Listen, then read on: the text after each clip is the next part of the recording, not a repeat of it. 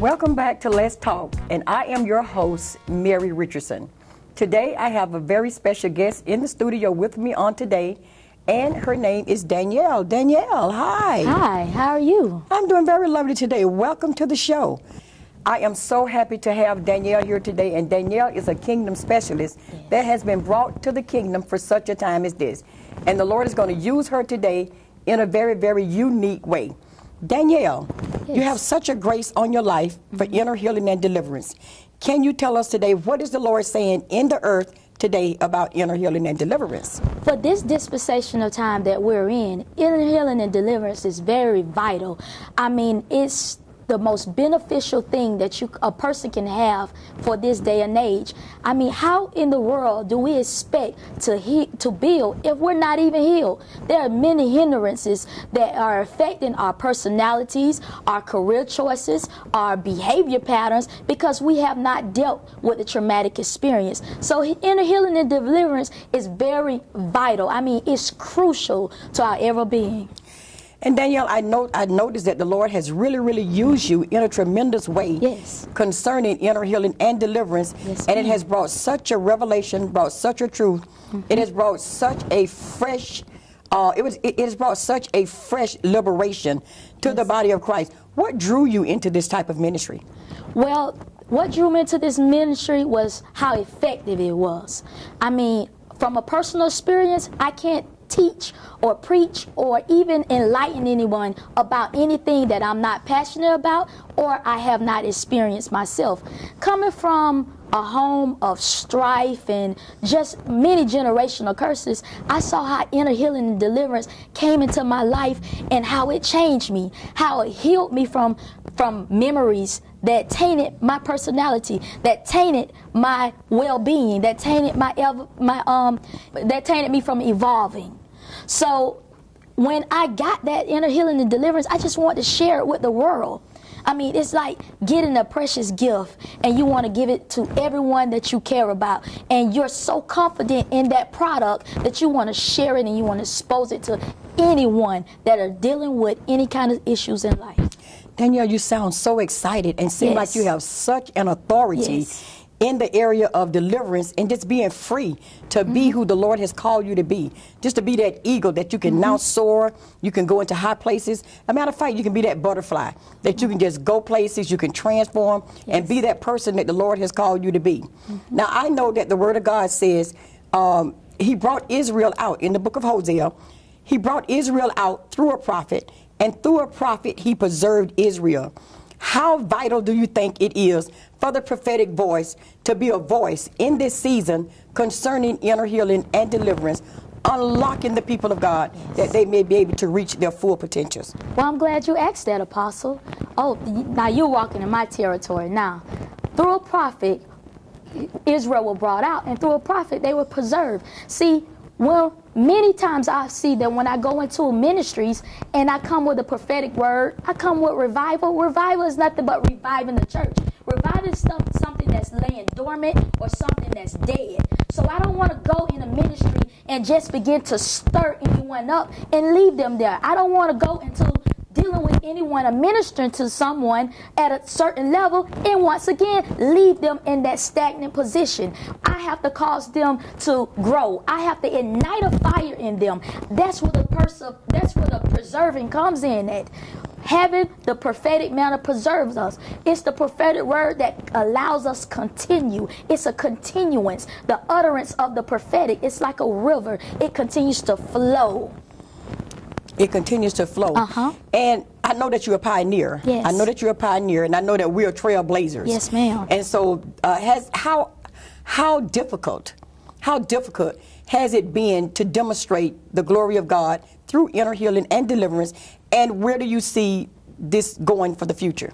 Well, it has been difficult due, due, due to the old wineskin, due to tradition, due to people not wanting to change. You know, sometimes we're, we, we know that we're saved, but yet we're still humanistic at times. And in order to change, we have to uh, we have to adjust.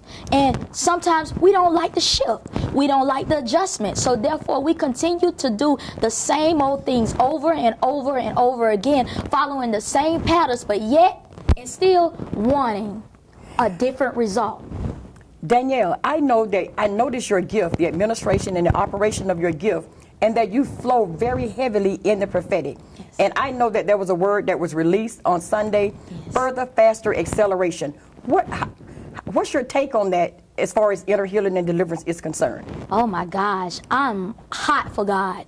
I mean, I have to stay relevant with my spiritual gifts and my anointing. So, further, faster, and acceleration. When you think about accelerating, you're thinking about mashing the gas. You're thinking about getting into the gas of that vehicle to speed up, the, the speed up and keep up with the momentum. Not only to speed up and keep up with momentum, but you're flowing at a steady pace and you're only getting further, faster into your destiny. So the word of God is very crucial. Inner healing and deliverance is very vital because it's going to cause us to evolve. Everything around the world is evolving. Technology, medicine, why not the word of God? We are supernatural beings. We are renowned. So we shouldn't do the extraordinary. We should be able to drive and demonstrate what Jesus has caused us to drive and demonstrate. So there's no reason as the body of Christ that we should stay stagnant and stay stuck. I'm very passionate about that. I'm serious when it comes to my spiritual inheritance. I'm serious when it comes to the everlasting covenant. And therefore, I have to be a model of that. How can I model it if I don't know what I'm modeling after? So I have to spend vital time in the Word of God, and I have to spend vital study in inner healing and deliverance. Wow, Danielle, you're on. You're such a firebrand today, plucked out of the fire. I tell you, you're just igniting a fire, and I know that the people of God are enjoying uh, this revelation and this present day truth that you are bringing to yes. them for such a time as this. Yes. As a prophet of God, what is the Lord saying to the body of Christ for such a time as this? Um, and I'm so happy you asked me that, Apostle Mary. I'm so glad you asked me that.